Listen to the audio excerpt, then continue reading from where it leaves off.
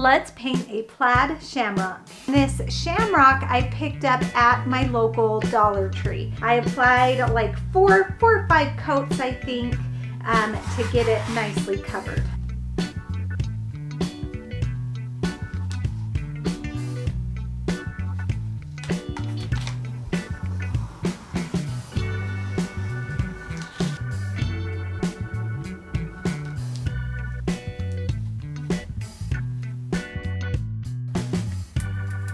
That is looking so good.